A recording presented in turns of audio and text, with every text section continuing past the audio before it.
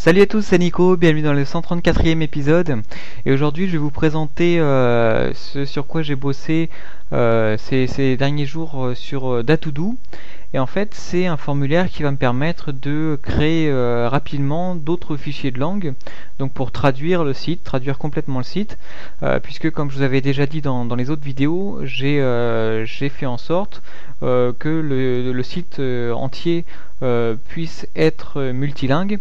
Euh, donc pour l'instant je me base uniquement sur un fichier euh, XML en français, mais il suffit de créer d'autres fichiers XML, donc en anglais, en italien, en allemand, etc.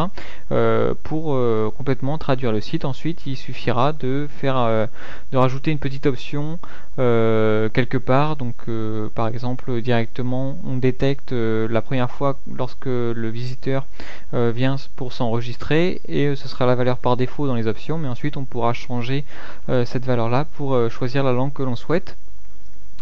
Euh, donc bah, ça c'est le formulaire en fait qui est généré automatiquement à partir du fichier XML français vu que c'est celui qui est le, plus complet vu qu'à chaque fois que je fais des petits développements bah, je traduis directement dans ce fichier XML donc si vous prévoyez de faire un site multilingue je vous conseille bien sûr de, de séparer euh, le, texte du code euh, pour que bah, tout, le, tout le texte soit réuni dans un seul fichier euh, pour avoir ensuite la, facilité de, traduire, de, changer de fichier directement pour changer toute l'interface du site.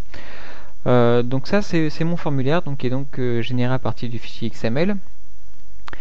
Et ce que donc pour l'instant c'est pas super beau, mais ce que j'ai rajouté ici c'est en fait des petits boutons euh, qui fonctionne avec euh, le Google Translate pour euh, directement traduire dans la langue qu'on aura choisie. Donc par exemple ici bah, je vais sélectionner l'anglais. Donc quand je vais cliquer sur charger, ça va déjà me précharger toutes les traductions que j'ai déjà effectuées. Et ensuite bah, il, me suffira d'aller sur le, sur le terme que je souhaite traduire et ensuite cliquer sur le bouton Translate.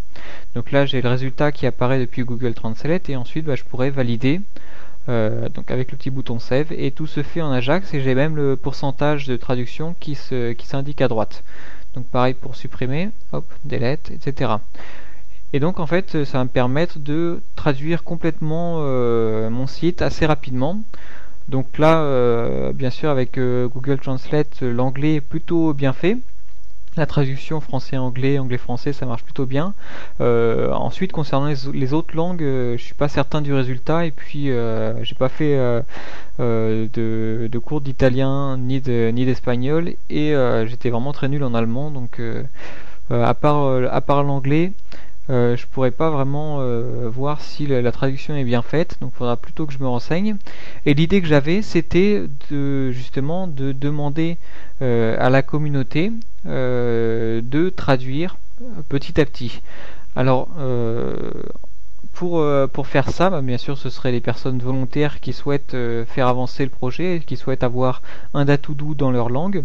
Euh, donc au début, il bah, faudra se, baser sur les personnes bilingues qui savent euh, parler bien, euh, bien français et une autre langue, ou bien quand j'aurai fait la traduction en anglais, donc il y aura peut-être des, des, ajustements, des petites choses à corriger, parce que mon anglais n'est pas parfait non plus. mais une fois qu'il y aura la traduction en anglais, ça pourra ouvrir les horizons à d'autres langues. Donc ça, ça pourrait être sympa. Euh, donc surtout que tel que je l'ai développé, il y a tout qui est traduisible, euh, même la détection de, date euh, lorsqu'on ajoute une tâche. Donc ça, ça peut être vraiment très intéressant. et donc pour faire ça, pour, pour demander la participation des utilisateurs, donc je vais vous montrer dans une prochaine vidéo euh, ce que j'ai mis en place euh, sur Datoudou, c'est les extensions. Euh, donc je pensais passer par une extension pour faire que seulement les personnes qui souhaitent aider au développement de Datoudou ajoutent cette extension là et donc elles aient accès à un formulaire comme celui-là. Donc bien sûr je le ferai un peu plus beau et un peu plus ergonomique pour que ce soit plus facile à utiliser et ensuite euh, d'agréger toutes les traductions qui me viennent des différents utilisateurs pour euh, finaliser euh, un fichier de langue. donc dans le cas où j'aurai plusieurs traductions pour un même terme, eh bien je prendrai la traduction qui apparaît le plus souvent. Et comme ça, bah, ça me permettra de, de, traduire assez rapidement mes, fichiers de langue.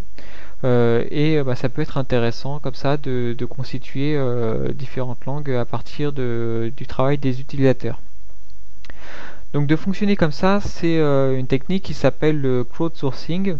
par exemple, je ne sais pas si vous connaissez Amazon Mechanical Turk.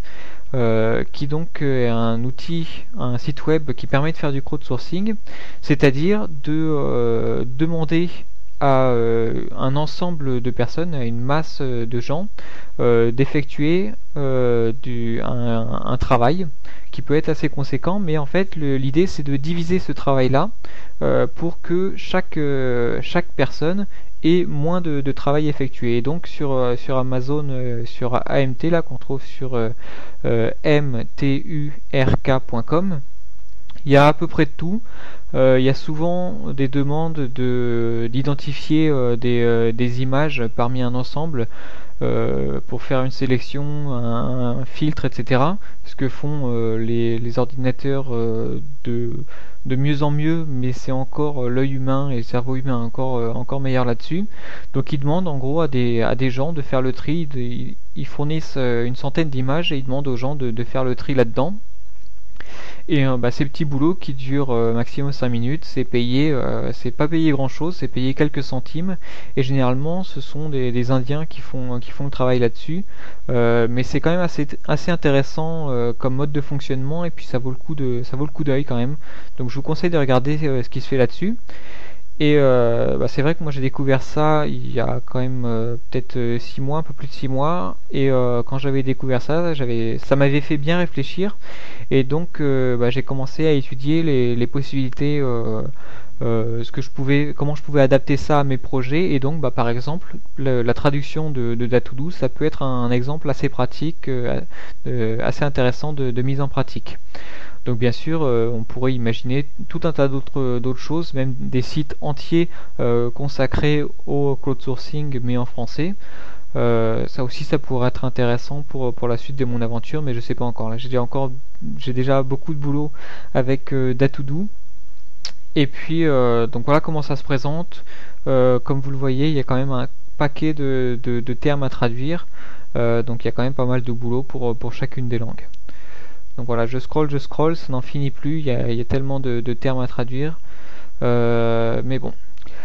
Donc n'oubliez pas, si, vous, euh, si vous développez, si vous faites euh, du développement, peu importe le langage, pensez bien à séparer, si vous voulez faire évoluer votre application avec le temps, pensez bien à séparer les termes que vous utilisez, donc le vocabulaire, tout ce que vous écrivez, euh, de votre euh, code euh, d'application, de, vos traitements, puisque bah, ensuite ça peut être vraiment très intéressant de pouvoir traduire directement une application euh, même de, fournir un fichier de langue à une personne qui va être chargé de, nous renvoyer un autre fichier de langue à partir de, ce fichier d'origine, euh, complètement traduit, et euh, ce sera beaucoup plus simple d'adapter ensuite et de, faire une application multilingue si, on, si déjà dès le début on part sur des bonnes bases. donc moi c'est ce que je vous conseille. si vous partez pour, pour créer un site qui, qui risque d'évoluer, c'est ce que je vous souhaite. Euh, pensez quand même à partir sur de bonnes bases, donc avec un framework et euh, donc bien en séparant euh, modèle, vue, contrôleur et donc fichier de langue, fichier de style, etc. Moi c'est le, le, plus, c'est le plus gros conseil que je peux vous donner en fait. Donc bah, comme d'habitude, n'hésitez pas si vous avez des questions, des commentaires, si vous voulez euh, avoir plus de précision sur la mise en place de ce petit bouton qui me permet de traduire automatiquement euh, via l'API Google, bah, n'hésitez pas et puis bah, moi j'attends tout ça et puis bah, je vous dis à bientôt pour une prochaine vidéo. Allez salut